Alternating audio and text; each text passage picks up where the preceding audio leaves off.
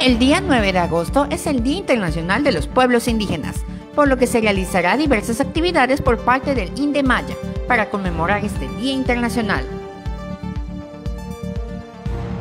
En la rueda de prensa estuvieron presentes el doctor Eric Villanueva y la alcaldesa de Teabo, Fabiola Loesa Novelo, donde dieron a conocer los eventos.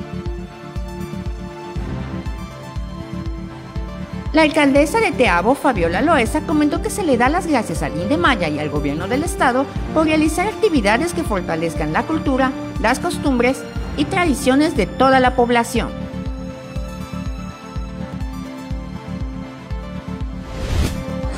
Y le damos las gracias al director del Indemaya y al gobierno del estado por estar haciendo este tipo de actividades que enaltezcan y fortalezcan la cultura, los costumbres y las tradiciones de toda la población, en especial en Teabo.